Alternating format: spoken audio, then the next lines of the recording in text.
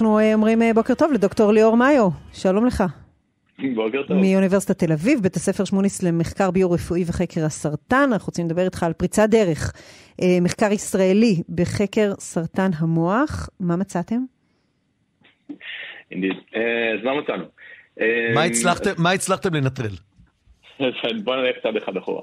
אנחנו חקרנו בעצם את סרטן המוח מסוג ליאבסטומה, הוא סרטן אה, אה, מאוד מאוד קשה, מאוד קטני, ב-40-50 שנה האחרונות הטיפול בו לא באמת השתנה, אה, והטיפול מתמקד בגידול עצמו. לנסות בניתוח להוציא אותו אם אפשר, אבל אתם יודעים, זה מוח, לא הכל נכון, אפשרי. נכון. הקרנות, כימותרפיה, גם ככימותרפיה לא הכל מצליח להגיע למוח, המוח הוא אזור נורא מוגן, ודה פקטו הטיפולים הקיימים כיום לא מצליחים להשיג את התוצאה שאנחנו רוצים, ולצערנו הרב, התחזית למרבית החולים אינה חיובית. אנחנו רוצים ללכת על מנגנון טיפה שונה. אנחנו רצינו לנסות להבין לא את הגידול עצמו, אלא את המקום שבו הוא נמצא. כלומר, מה היחסים בין הגידול לבין הסביבה שנמצאת סביבו. מתוך ההנחה שאם הגידול הוא כזה אוסף של תאים שמתחלקים מאוד מאוד מהר וגדל כל הזמן, הוא יצטרך המון עזרה מהסביבה. הוא. יצטרך עזרה בלהתחמק עם מערכת החיסון, והוא יצטרך עזרה בלספק לו מזון.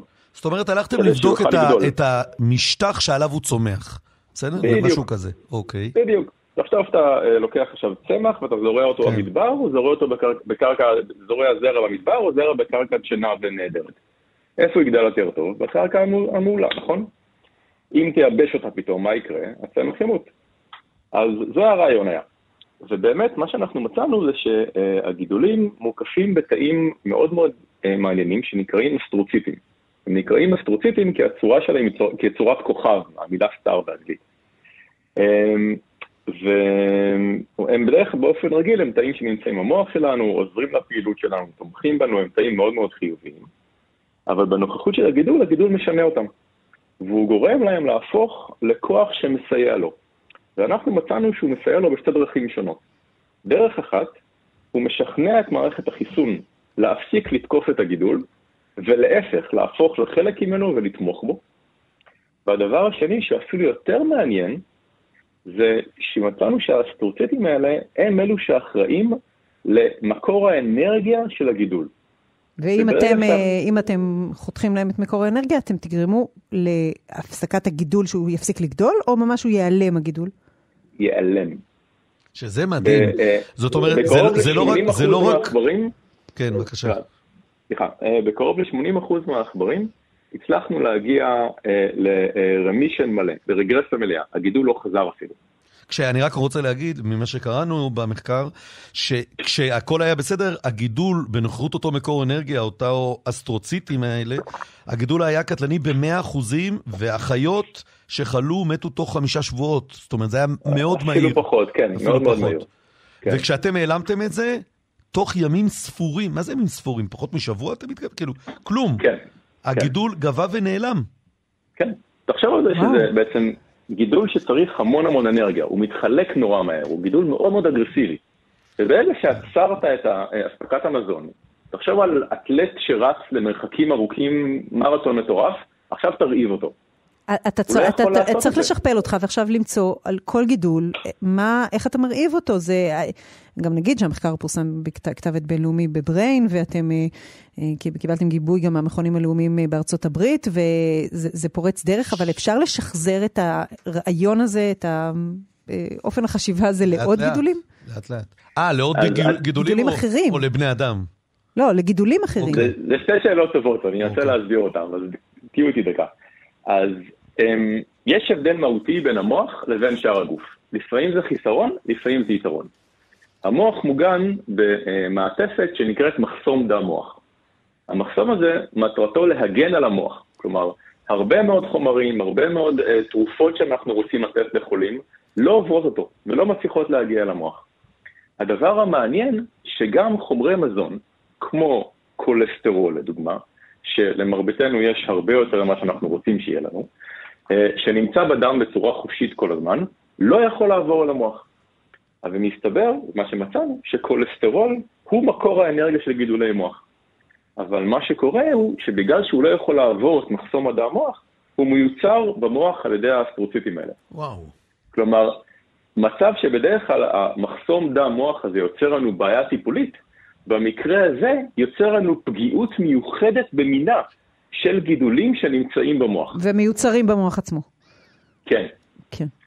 עכשיו, אנחנו באמת חושבים שזה נכון לגליובסטומה, אבל אנחנו מתחילים לבדוק את זה על גידולים נוספים שנמצאים במוח, ובינתיים, וזה מאוד מאוד ראשוני, נראה שבאמת יש עוד גידולי מוח שגם כן מושפעים מאותם מנגנונים, וזה הולך להיות באמת מה שאנחנו מנסים להרחיב אותו ולהבין אותו יותר. אבל גידולים בדם או בעור או באיברים אחרים, אתה עוד לא חושב שאפשר יהיה לקחת את הרעיון הזה ובעצם ליישם אותו גם בגידולים אחרים? לא דרך המנגנון הזה. ולגבי, כן, ולגבי דוקטור מאיו, לגבי ה... אה, וואי, כל הזמן יש לי מאיו קליניק בראש. אה, אה, בטח אומרים לך את זה הרבה. לגבי כן. בני אדם, זאת אומרת, תוך כאילו הערכה ותפליג בדמיון עם כל, ה, כל הסייגים אמרת, ואנחנו מכירים את ההתניות, אבל בחלומך, שהשגת פה משהו מדהים, בעוד, נגיד מה, עשר שנים נוכל לטפל בסרטן הבאמת אלים והנוראי הזה, אני גם מכיר ברמה אנשים משם, זה כאילו, זה סרטן נורא. בעוד עשר שנים יכול להיות שזה יגרום ל... לש, כאילו, זהו? נוכל להגיד שזה מאחורינו במובן מסוים? אני, אני, אני אגיד לך שאני מאוד אופטימי.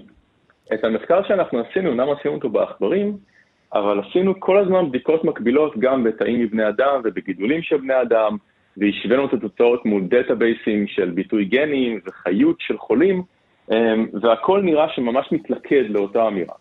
מה שאנחנו עושים עכשיו זה למעשה אנחנו מנסים לפעול בשני מסלולים מקבילים.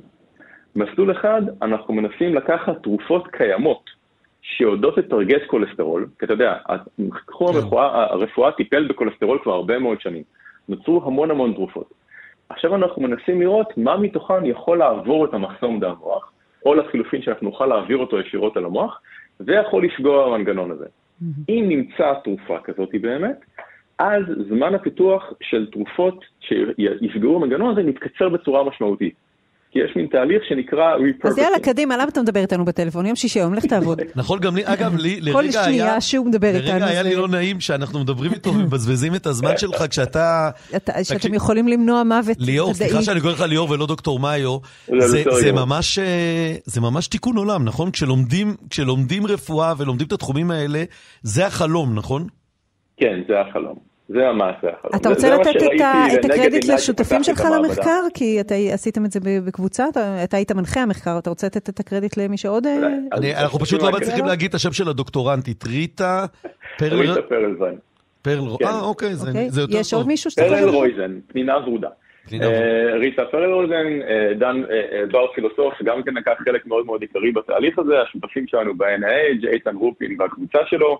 אה, דוקטור אסף מדי מרפואה, גם כן עזר לנו בכל הביואינפורמטיקה והאנליזה בתהליך הזה. מגיע להם, מגיע להם, מגיע להם. דוקטור ליאור מאיו, ומגיע לך, וזה חור בהשכלה, הנה גאווה להיות, כאילו, גאווה להיות גם באקדמיה וגם ישראלי, וגם אה, איזה יופי. הוספתם לנו שמחה, הצלחתם לנטרל את מקור האנרגיה של גידול מוח אה, מאוד מאוד אלים וקטלני.